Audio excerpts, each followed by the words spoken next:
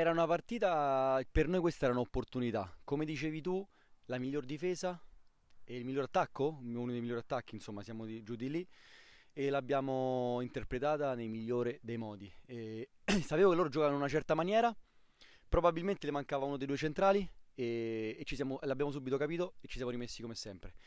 La mia squadra è una squadra duttile, può giocare in qualsiasi modo e in qualsiasi modo gioca la interpreta nei migliori dei modi. Oggi è andato tutto per il meglio, eh, 4 gol alla Pisana che secondo me è una, una squadra che arriverà fino in fondo.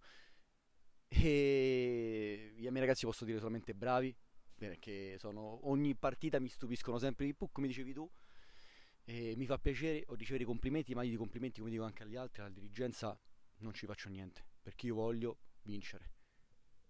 Sì, perché questa, come ripeto, era un'opportunità perché vincendo questa e ipoteticamente vincendo le prossime due partite potevamo puntare, lo dico schiettamente, al quarto posto, con dei, con dei risultati che potrebbero incastrarsi.